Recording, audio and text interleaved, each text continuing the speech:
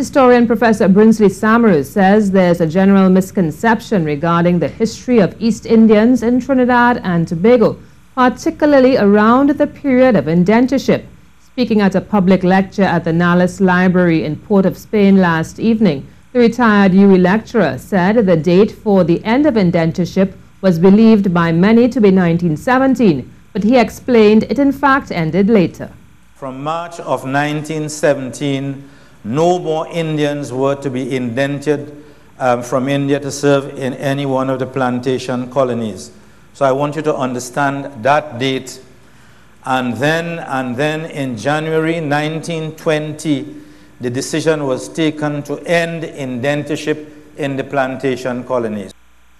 In discussing the disadvantages of the East Indian community in this country, he said he believed it could not be compared to slavery, another dark time in history.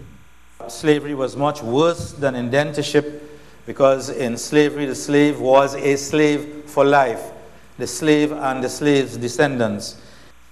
Nevertheless, he said their struggles were valid and relevant. He referenced the government's reluctance to permit Hindus to practice the ancient Indian tradition of cremation. Until 1953, you have come here from 1845. Cremation is accepted from the ancient time in India. Not burial, cremation,